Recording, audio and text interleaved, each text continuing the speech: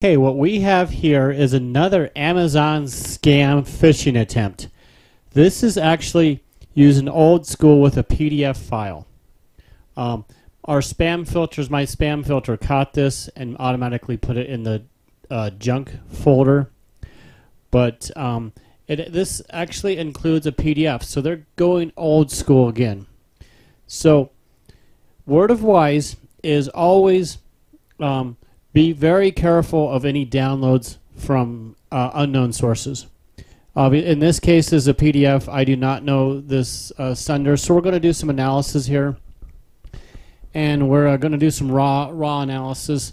So uh, we did dug up on this IP address here, and we noticed um, this is actually a Google a Google site. So um, initial looking on that return path, they put a junk like a bogus return path on that email address. So when it comes up in the email, when it, when the email program displays it, it shows this this account, and it's again suspicious. So bogus email that does not exist. So that domain and or email does not exist. And so, however, though, this one right here, this is actually uh, part of the Google Mail infrastructure. This is uh, one of their SMTP servers that they use, this SMTP server header that's placed on that email message. So the, that fir- those first few rows there going back, that's bogus, which means is the attacker or the hacker will put in a bogus label on a re- bogus return path and kind of corrupt and or override the headers. So, but that's flag number one. It's bogus looking. So, just doing some initial research on these headers. Um, and so we also noticed here, we're digging around here, and this domain, this domain does not exist. So um, another suspicious where they uh, manipulate the email headers. So we had to dive down to that second this is Google header there. And so I went ahead and just did a general your name at whatever because um, to replace my personal email address as we're digging here. So we keep on digging through the this file here and again Google like we saw here. So this is more the the signature of the email headers. There's our Google uh, signature so we keep on digging, and um, we obviously already know that our email program put it in our spam filter, but we want to find, and, and the email program showed up as an attachable download. Um, so again, this is this is a so the attacker is actually using Gmail to send these out, and so also notice the subject line email Amazon receipt. Amazon will never send you a PDF file. That's what I'm alluding to. So now in the to message, this is a bogus. This is this could be a real email address, but wow, I can't believe it. I, I believe it now. I believe it now. It's super powered Amazon. Oh my god. I that's that's totally totally legitimate super powered Amazon. Wow. That's that's folks that's super bogus. So here's here's our attachment. Here's the attachment again going through the email headers here. Here is the payload of that attachment. As as I showed before, our email program showed that we could have downloaded it. Um, so this is actually going into the obviously we're going to the raw email source and this is if I can spell poison or bad PDF file. So again, be very suspicious on if you receive an attachment from somebody you don't know, especially PDFs, especially Word documents. They can have embedded code, malicious code, JavaScript, etc. in there. So the PDF in this case is is our focus. So the rest of this is the uh, signature of the email chain. So it's not of interest of this analysis. And I'm just scrolling through it really quick here, and I'm scrolling back up. So sorry to make you dizzy.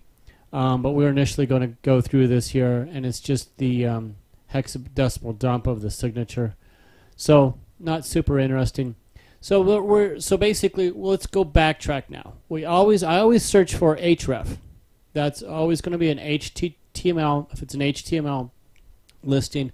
We did not initially find an href tag because this is technically not an HTML file. The payload is actually a PDF. So they're just using old, good old-fashioned email and they're attaching a PDF. So they're not even, I don't even see any HTML code here. So your email program should place this in junk. But let's let's just do some initial digging on this forensics here. So we downloaded the attachment and it was in our junk mail and it would not let me download unless I moved it to a temporary folder and then from there I was able to uh, download it. So here it is sitting here. So it's definitely a PDF. It's suspicious.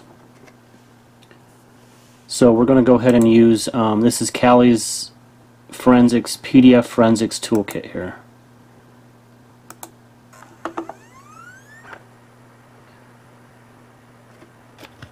Tool to test a PDF file. So we're going to change to our downloads directory.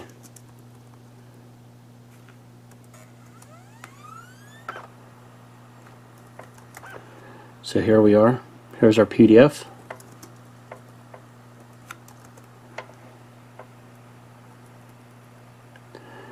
So we are going to um, list.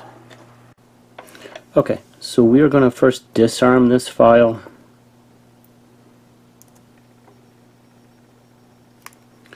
And that dash D, so it created a disarm file.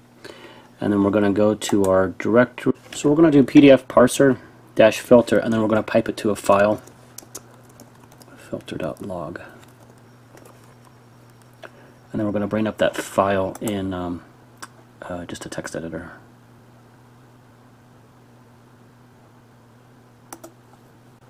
I'm trying to dive in more deeper and it may just not be that very sophisticated.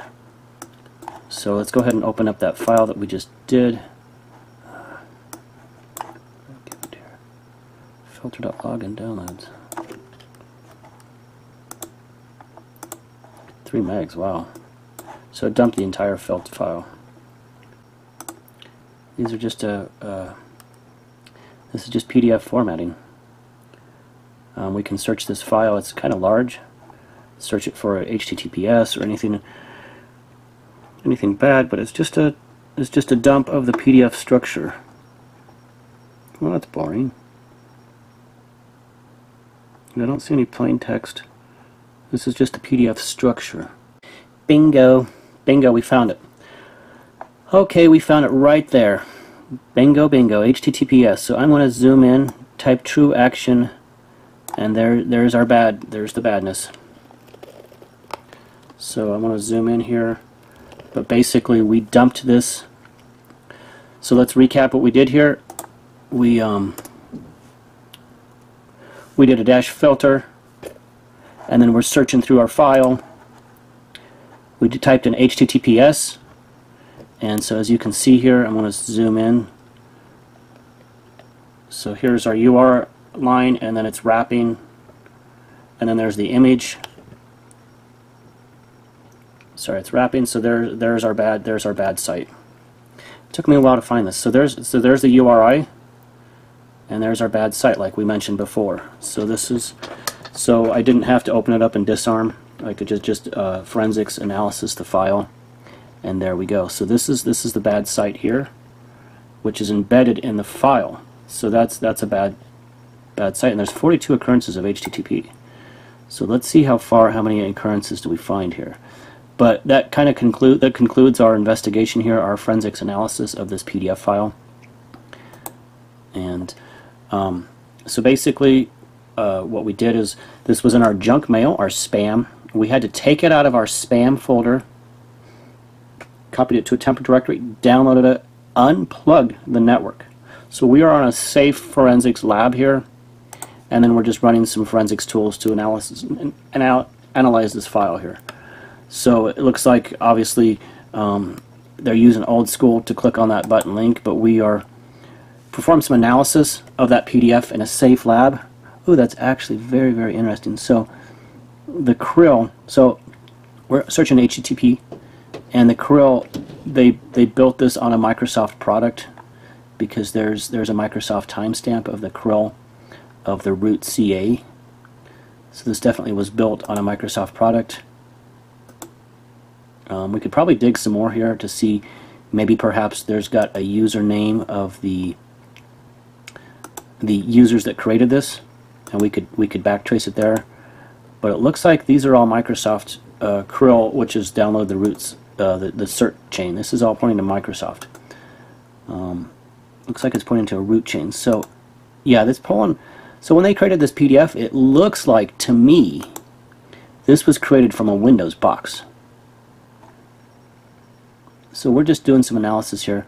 We could probably dive in here and see if um, uh, if there's a username and a computer and a, an IP address because if the hackers aren't careful to cover their tracks when they're developing code, they may accidentally put their email in there. Uh, you know, it's kind of like when you register a program or when you when you download a program. It's going to pull all the information from your workstation maybe your username, maybe the computer name, maybe the IP, maybe the way you're connecting. So we could dive in deeper and find some analysis through that way. Um, and maybe there's there's some information in here that could lead us to an exact person, the developer of this code. But um, I do not uh, do not see that in this analysis. Um, we could check our strings here and, and, do some parsing that way. But um, I just I'm just poking around again, looking for HTTP or HTTPS. And again, it looks like this was created from a Windows machine. It would be really neat if we could find like the user ID of the hacker developer. That'd be really cool. Three here, and this is disarmed. This is the disarmed file. We're going to open it with PDF.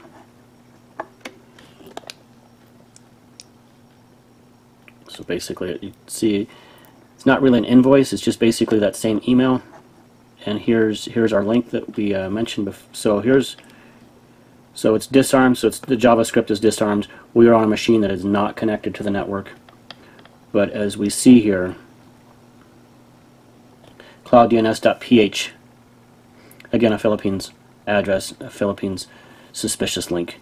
Our email software went ahead and put this in our spam folder and it took us, we had to override those settings to get this file because our spam filter was doing its job but if we were to click on this link, let me, uh, if we were to click on this link, then definitely um, it would compines. So there we go. This is the link. So we disarmed this PDF, and there's our link. There's our malicious link there. We are disconnected. We are on a safe, safe uh, test lab here, but um, we just did some analysis, and there's our link. There's our suspicious link. So um, this is similar to the, um, so this is basically the, uh, the email here. This is the attachment. And we disarmed it, so there's nothing potential. Here it's basically the, the standard Amazon, you know, your account's been locked out, you cannot provide any, we can't, we, except obviously as you can read this, to resolve this issue, verify your billing address and telephone number. So um, if you're able to complete this with 24 hours, so there's no space there, that's, you know, that's a, and then down here, this is actually kind of interesting. I just wanted to point this out here. Um, we hope to see you again soon. Okay, this to me, just looking at this without our analysis, this is obviously a foreign. This is obviously a foreign address because the English that they are using. English is not their first language. Um, my guess is because it's an Asian country, they use Happy Day, Family Day, come back soon, like an like a Chinese restaurant. But hope to see you soon.